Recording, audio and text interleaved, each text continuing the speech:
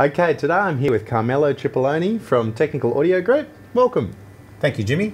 What are we looking at today, Carmelo? Well, we've got uh, some components from Allen and Heath's uh, iLive T series. Um, we've got the IDR16 mix rack, the R72 um, control surface, and we're highlighting the um, iMix iPad app for the system. Okay, cool.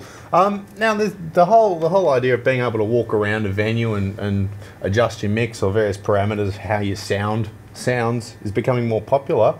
Um, this is a bit unique in the sense that uh, once you've got the system configured, what happens if you get rid of the surface? Well, you can still mix. Um, once you've configured the system, as you've pointed out, you can just uh, walk around the venue uh, without the control surface, um, or turn up to a gig without the control surface, I should say, and have your iPad uh, app. And obviously, if you've got Wi-Fi, it runs on Wi-Fi, so set up your Wi-Fi, and you can come up on stage, uh, ring out your monitors. Um, interview those performers that may want uh, things in their monitors differently than what you set up. You can have a conversation with people without shouting through a microphone. That's right, without shouting a mic or across the room. It just becomes a bit more personal on stage. That is a bit more pleasant. Um, or you can just wander around the room and make adjustments as you hear them in the seating area or wherever they wherever you might be thinking that you might make some adjustments rather than being stuck at the mix position all the time, which you know. Some, sometimes you're in a slightly compromised location in terms of being in the venue and, and where you want to be that's right. to yes. hear what you're hearing. Yeah. Okay, now as far as, as what we can do on this, obviously we can we can do fader moves and so on, and we can do we're using multi-touch here, and we can do multiple faders at once. I think I got like seven or eight of these going earlier. Um, now, what else can we do from the app? We can we can obviously adjust our levels of mix going out of the main outputs. Can we do things like auxiliary mixes? We can do auxiliary mixes. Um, obviously, if you're running just the one system and you're mixing uh, monitors on stage from your inputs, uh, you don't want to be adjusting your inputs up and down. We happen to have a OGS one here, which is sending to Vox vocals. Double tap. Uh, no, I've just muted it. Sorry. There we go. We double tap the uh, OGS one, and as we adjust the fader up and down, it's not actually adjusting the fader of input one in front of house, which it is now. Well, I've, I've just But- I've just selected the the vocal one mix on the surface, so we one can mix. see it moving there. That's right. And now what we're doing is adjusting the vocal input channel one to the vocal one mix up if the performer wants it up.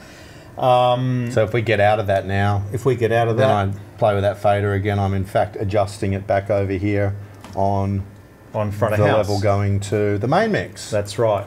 Okay. Um, so we can do that. We can send to matrices. We can, whoops, sorry. We can send to um, groups uh, in the same fashion on, on the iPad. Okay. And I was playing around, and it looks like you can do all the things like assign your channels to your main outputs and your groups, and set pre and post and that sort of thing. Um, uh, how about in terms of uh, a monitor sort of application where you're on stage and we want to adjust an EQ for a send? Can you do that? Yes, you can do that. As far as um, initial setup, uh, things like things like how how our, our IP addresses and so on are configured. Normally, you get all of that stuff done before you arrive at the gig, so you know you're turning up with a working system. Now, it seems to be fairly low latency, which is pretty cool. Um, uh, you make changes on on the surface, and you can see them changing on the uh, on the pad relatively fast, and and likewise the changes, the, the, the latency on this is, is impressively low. I've It is impre- yeah, and metering as well. Um, is Yeah, we pretty actually much we tried the metering earlier, um, and considering it's going over Wi-Fi, it's pretty close to real time, which is definitely a good thing.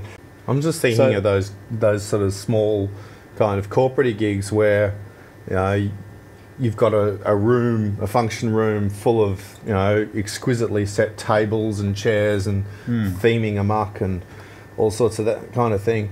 Um, and there is no physical location for a front of house mix position. I think this would be awesome because you can set up your side of stage position, but then um, throughout the night, if you need to go and have a listen, make some changes to whatever, That's right. you know, it, it this this is a lot more unimposing than this, and this is a lot more unimposing than something two meters wide.